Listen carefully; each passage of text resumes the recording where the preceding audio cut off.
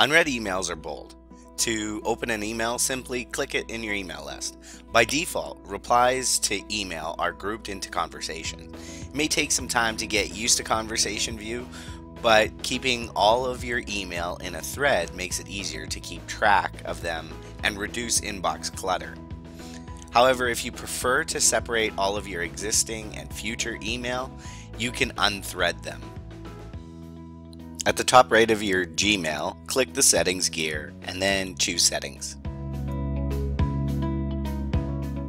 In the General tab, scroll to Conversation View and select Conversation View Off if you want to turn this feature off. Now scroll to the bottom of the page and click Save Changes. Now your email will be separated as they arrive. And your responses will be in the sent mail, like conventional inboxes.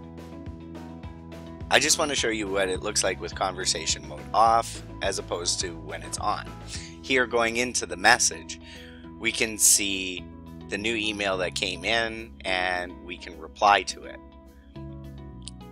I can't see the first message that was originally sent. So I can turn conversation mode back on, save our changes, and now we can see both the messages, the original one at the top and then the response and we can reply to the message. This is with conversation mode on. Now you know how to turn this feature on or off if you want to. It's really a personal preference.